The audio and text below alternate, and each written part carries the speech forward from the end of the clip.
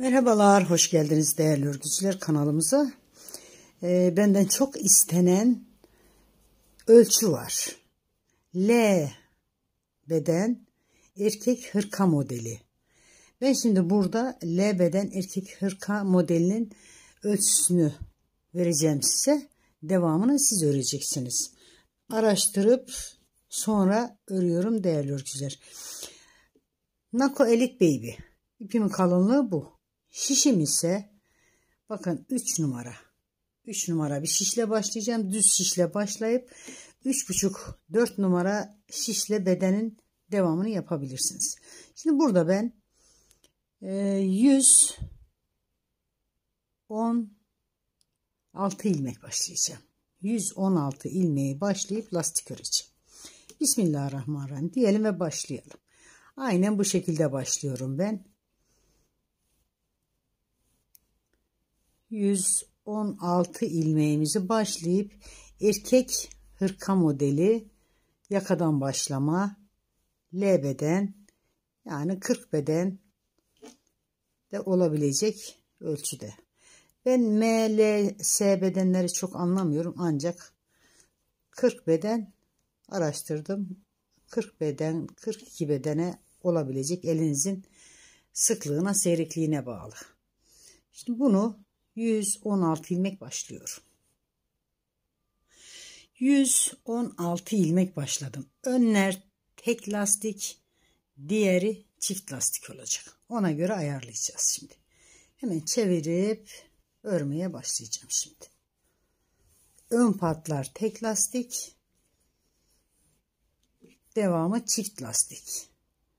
Hemen ters ilmek aldım, ters ilmekle başladım bir düz örüyorum.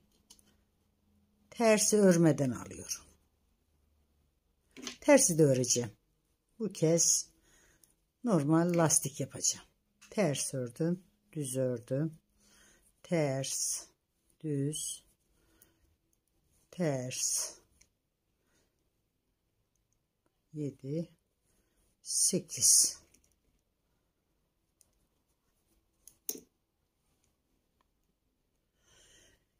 2, 4, 6, 8, 9.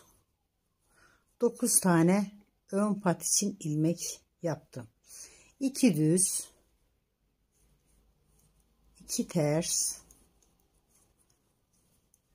2 düz, 2 ters, 2 düz, 2 ters olarak diğer tarafta 9 ilmek kalana kadar öreceğim. Sıra sonuna yaklaştım. Sıra sonunda iki düz, iki ters.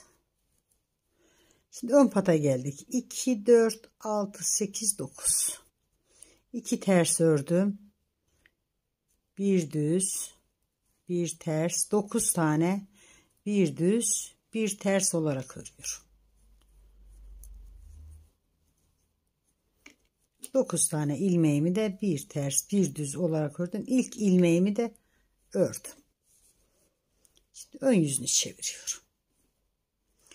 Renk seçimi tercihinizdir. Ben elimde olan iplerle çalışıyorum. Amacım ölçü vermek. Kenar ilmeğini örmeden aldım. Bir düz, bir ters, bir düz, bir ters, bir düz, bir ters burası düğme yerimiz. 2 4 6 8 9 devam ediyorum. 2 düz 2 ters. Sıra sonuna kadar 2 düz 2 ters olarak örüyorum ön pata kadar. Sıra sonuna geldim. Bir düz bir düz bir ters diye devam ediyorum. Son ilmeğimi örmeden alıyorum. Çevirdim yine arka yüzünü. Ön dönüşlerimiz bu şekilde. Örmeden aldığım ilmeği ters olarak ördüm. Yanındakini düzle devam ediyorum. Yine bir düz bir ters. Bunu bir miktar yapacağız. Yine iki düz iki terse geçtim.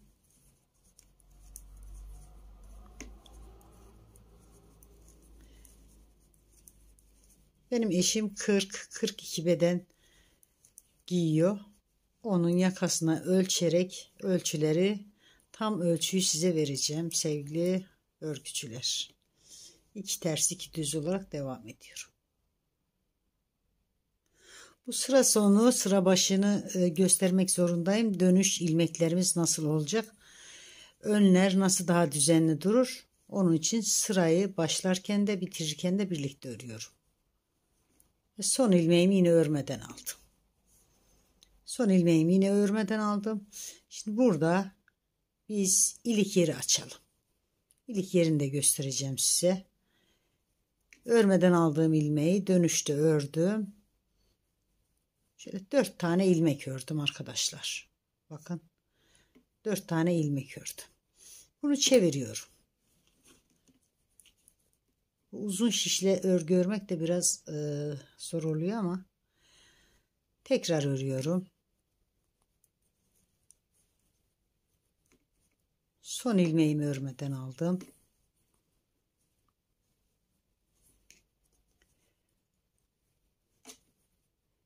Erkek hırkalarında büyük düğme kullandığımız için ilik yerini biraz büyük yapıyorum.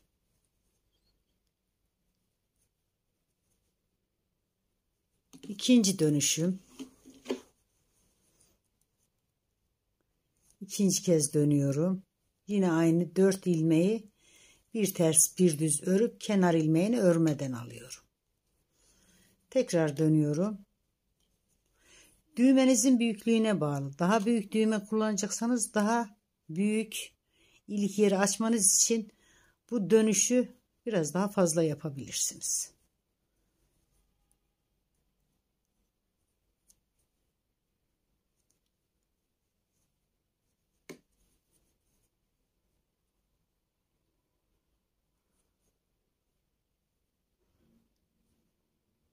Yanlış yaptık. Hemen söküyorum. Bunu buradan dönmeyeceğiz. Bakın sökme işlemini de sizinle birlikte yapıyorum arkadaşlar.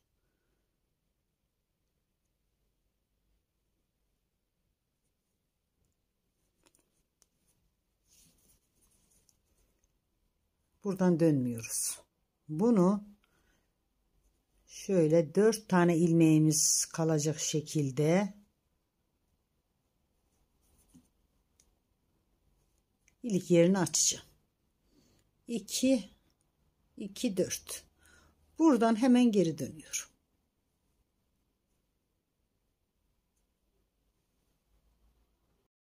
İlik yerimi e, sağ taraftan açacağım. Şimdi sağ tarafta yapacağımız işlemi göreceksiniz. Dediğim gibi yapacağınız düğmenin büyüklüğüne bağlı. Ben e, şöyle orta bir düğme olsun istiyorum. Bir düz, bir ters, bir düz, bir ters, bir düz, bir ters sıra sonuna kadar ördüm. Yine ters ördüm, düzü örmeden aldım. Şimdi burada ilik açacağız. İlik açma tekniğimize dikkat edelim. Örmeden aldığım ilmeği aldım ve ters örgüyle başladım. Ters örgü olarak başladım. 2 3 4 4 tane ilmeğimi ördüm. Şimdi burada çeviriyorum. Örmeden alıyorum. Birinci sıra. Düz örüyorum. Ters örüyorum. Kenar ilmeğini yine örmeden aldım çeviriyorum. Ters olarak örüyorum.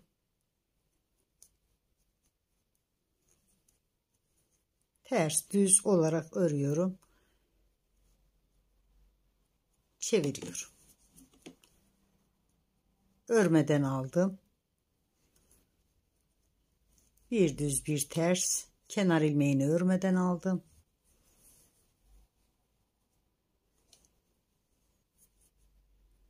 Bir kez daha dönelim yeterli. Örmeden aldığım kenar ilmeğimi ördüm. Diğer ilmeğimi de ördüm. Şimdi bu kadar e, yeterli diyorum ben. Tamam mı? Bakın. Kaç tane oldu? Şöyle e, görünürde 1, 2. Bir de bu sıramız 3. Buraya ben 1, 2, 3 tane dolama yaptım. Hemen ters örgümle başlıyorum örmeye. Yine bir ters bir düz. İlk yerimizi açmış olduk. Şimdi sıramızı diğer tarafa gidip tekrar ilik yerini birlikte yapacağız.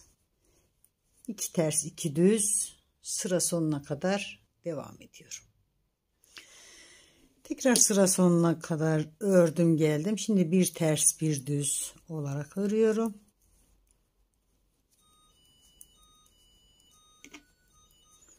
Ters düz örmeden aldım.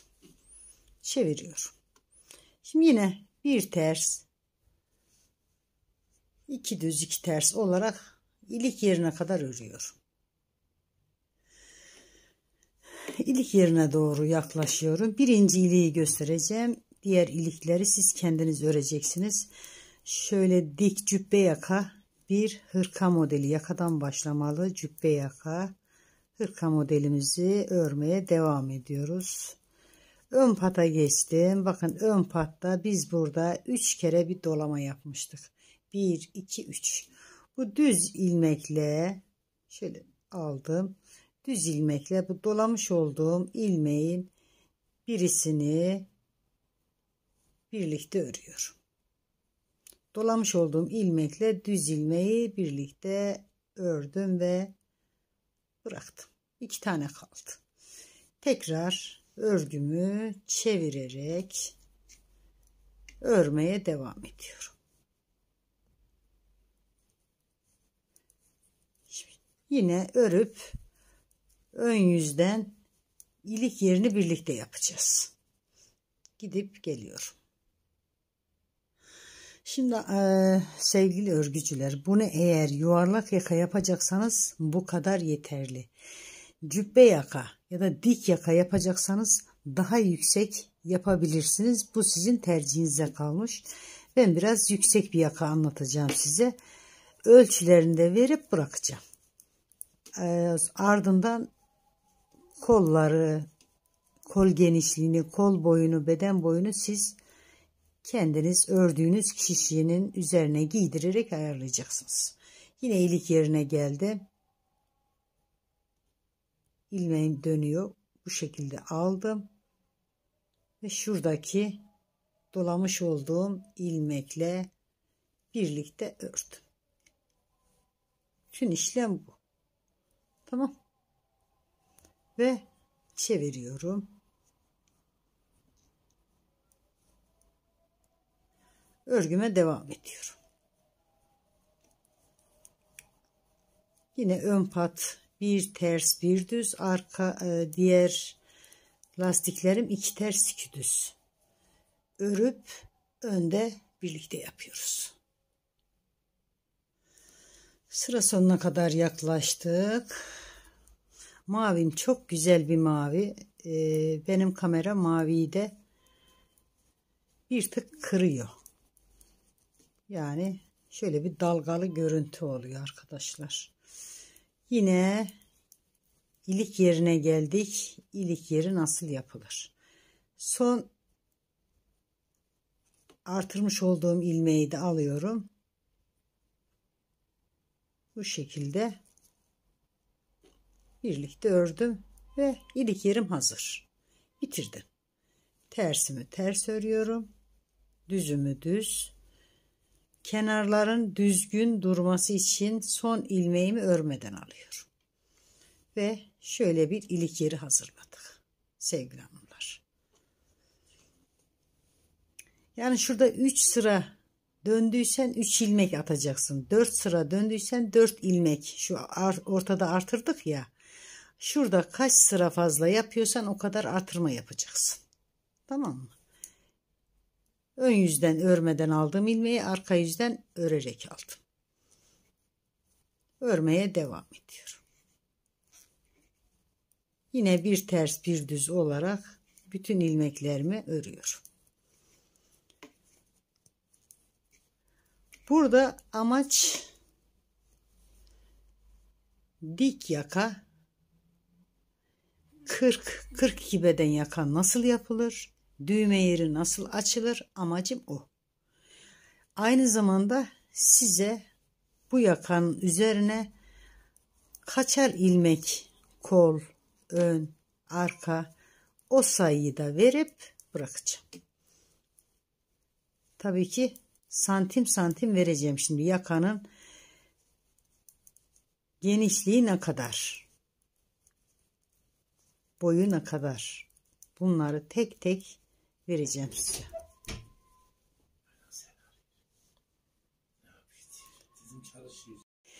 Şimdi sevgili hanımlar bakın bir miktar ördüm. Ne kadar ördüm?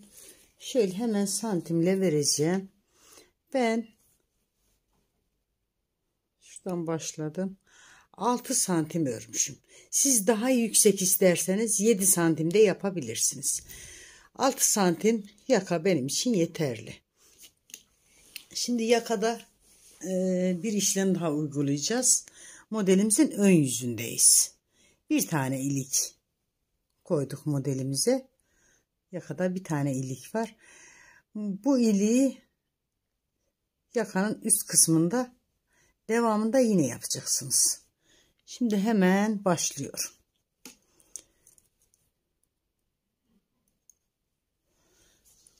Şişlerim uzun umarım bir yerlere takılmayız. Valla takılır kamerada düşerse kusuruma bakmayın sevgili arkadaşlar. Şimdi kenardan iki tane ilmeğimi ördüm. Aynen bu şekilde. Hepsini düz öreceğim. Bir doluyorum fakat ipim biraz kalın olduğu için yaka bizim iki kat olacak. Bundan sonra şöyle torba lastik yapacağız. İpimi hafif esnetiyorum. İpimi esnettim. Siz de eğer ipiniz kalınsa biraz esnetin. Bir dolayıp bir öreceğim. Bir dolayıp bir öreceğim. Tamam mı? Fakat evet bu şekilde doluyorum ve düz örüyorum. Doluyorum, düz örüyorum. Her ilmek başına bir tane ilmek artırarak ilmeklerim iki katına çıkacak. Bir dola, bir ör. Bir dola, bir ör.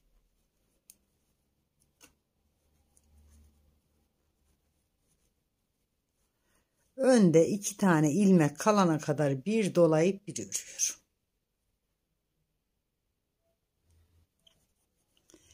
Bir dolayıp bir örerek sıra sonuna kadar geliyorum.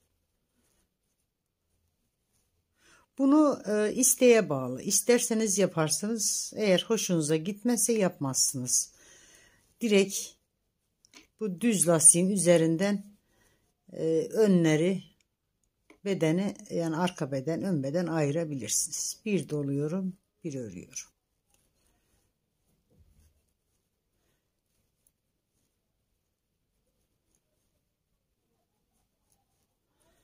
Bir doladım bir doladım buradakiler de düz bir ve iki her iki kenarda da iki tane ilmek dolamadan ördüm. Şimdi arka yüze geçiyorum. Arka yüzde devam ediyorum. Kenar ilmeğimi aldım.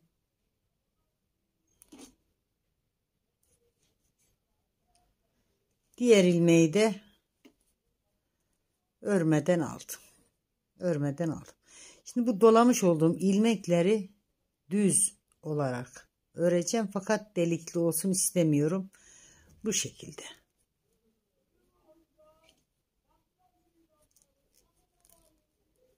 Dolamış olduğum ilmekleri düz örüp tersleri örmeden alacağım. Tersleri örmüyorum.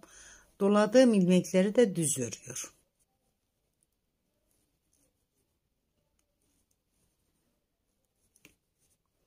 Tersleri örmeden al. Doladığın ilmekleri düz olarak ör. Şimdi böyle örersek delikli olur. Onun için karıştırdık.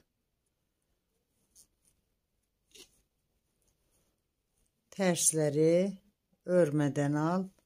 Doladığın ilmekleri düz olarak ör sıra sonuna kadar. ilmeklerimiz çoğaldığı için sevgili hanımlar biraz geç örülüyor. Yakamızda büyük bir yaka. Ee, bu yaka çok istenilen, çok işinize yarayabilecek bir yaka. Yani 40, 42 dediğim gibi bedene çok rahatlıkla olabilecek bir yaka.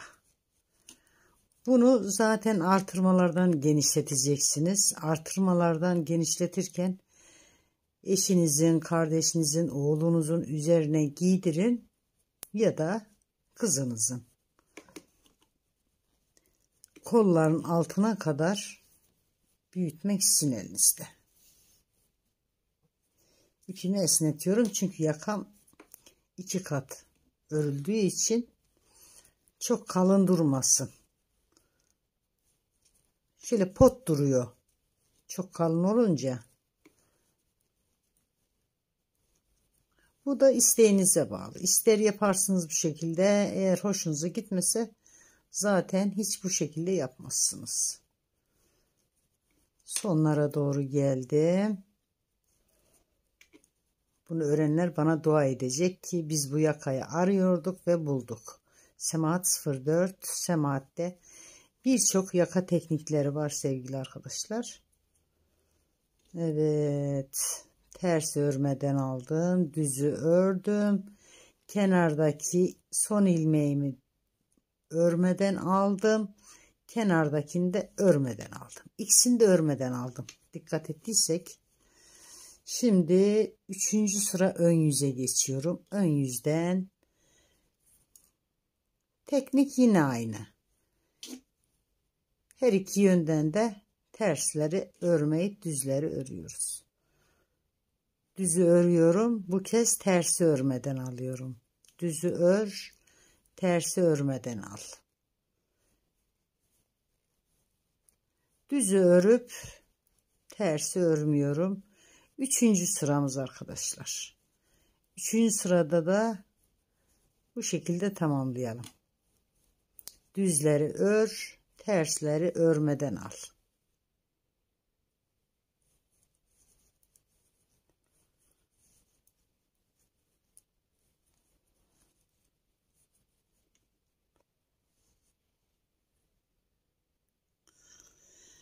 Örgümün üçüncü sırasında bitirmek üzereyim. Tersleri örmüyorum, düzleri örüyorum.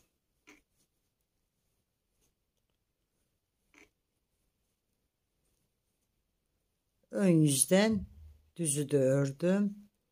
Yine kenar ilmeğimi örmeden aldım. Şimdi dördüncü sıra arka yüzdeyiz.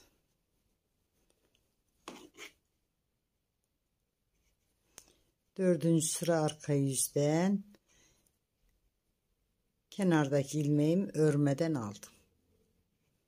Yine düzleri örüp tersleri örmüyorum.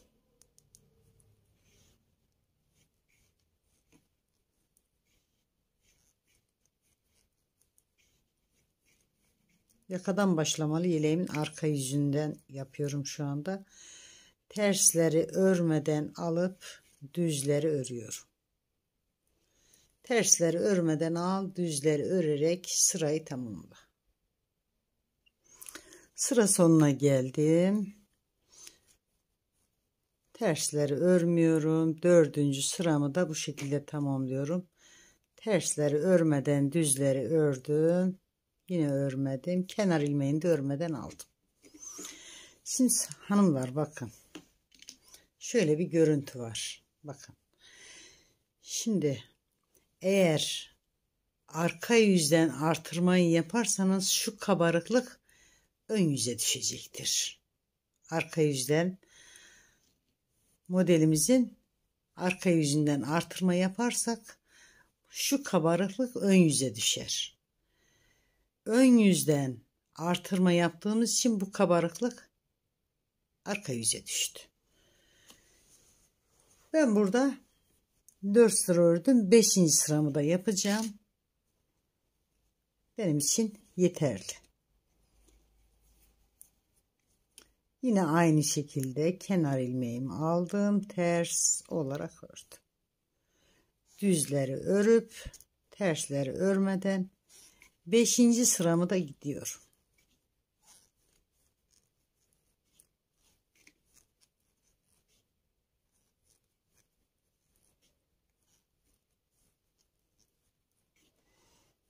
Gece de ışıktan ellerim bir hoş çıkıyor. Düzleri ör, tersleri örmeden sırayı tamamla. Beşinci sıramı da tamamlıyorum. Şimdi çok videolarımız çok uzun olduğu için arkadaşlar editlemesi de zor oluyor. Ben şimdi bu yakayı sizinle paylaşacağım. Siz bu yakayı yapıp hazırlayın. 40 42 bedene göre daha büyük yapmak istiyorsanız ya da ipiniz daha kalınsa bu yaka daha kalın olacaktır. Ona göre ayarlayın. Ve son ilmeğimi örmeden aldım. Böylece 5. sıramızda tamamlamış olduk. Şimdi ne yapıyoruz? Şöyle bir görüntü oldu. Çok güzel böyle hazır kazak gibi duracak bu tamam mı? Şimdi arka yüzden artırdığımız ilmeklerin tamamını keseceğiz. Yine kenardaki iki tane ilmeğimi örüyorum. İki ilmek bu sırada e, şu kenarda ilmeğimizi de düz öreceğiz. Bakın şimdi artırma yaptım ya. Şimdi bununla umarım ilmeğimiz eksilmez. Şöyle yapalım. Şimdi artırmış olduğum ilmek bu. Artırmış olduğum ilmekle ters ilmeği birlikte örüyorum.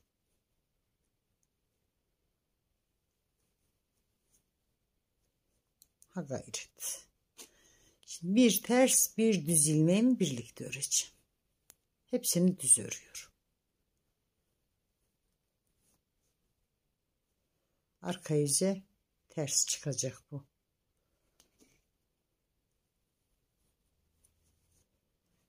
Artırdığımız ilmekleri tamamen kesiyoruz.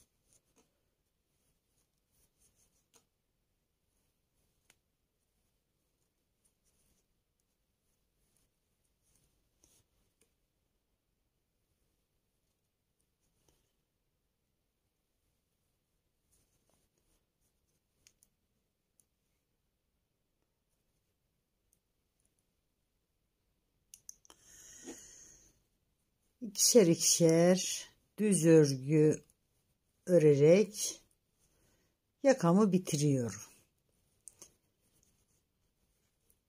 Bakacağım eğer videom çok uzun olmazsa paylaşımlarda yapacağım. Ön, arka, kol ilmek sayılarını da vereceğim. Örüp tamamını bitirmek siz değerli takipçilerimizin elinde örmek isteyen her kime örüyorsanız üzerine giydire giydire büyütmeye başlayacaksınız. Büyüdükten sonra ister kolları önce örersin ister bedeni önce örer sonra e, kolları örersin. Bu da ama kolları örerseniz daha rahat olur. Kolları da yine böyle iç şişle örüp dikebilirsiniz. Misinalı şişle hiç diksiz yapabilirsiniz. Kenardaki şu ilmeğimi de ters olarak örüp diğer ilmeğimi boşaldım. Şöyle bir bakıyoruz. Böyle yerleştirelim örgümüzün. Örgümüzün yakamızın iç kısmı burası yakadaki artırdığımız ilmeklerin hepsini kestik ve yakanın iç kısmında şöyle bir görüntü var. Dış kısmı da bu şekilde. Şimdi ikinci bölümde biz ne yapacağız? Bunu misinalı şişe geçeceğiz. Misinalı şişte ön beden, kollar, arka beden, ön patını devam ettireceğiz. Bir de çok basit bir model kurmayı düşünüyorum arkadaşlar. Şimdi siz bu yakayı örüp bitirin. Yakamız çok güzel oldu. Yani şu anda şişe sığmıyor. Misinalı şişlerim de boş değil. Boş olmadığı için elimde olan şişler de ince. Böyle uzun şişle yaptık. Hadi bakalım. Allah'a emanet olun. Kolay gelsin. Hızlı örün, keyifli örün, sıkılmayın. Yavaş yavaş şimdiden başlayın kar yağına kadar biter. Hoşçakalın.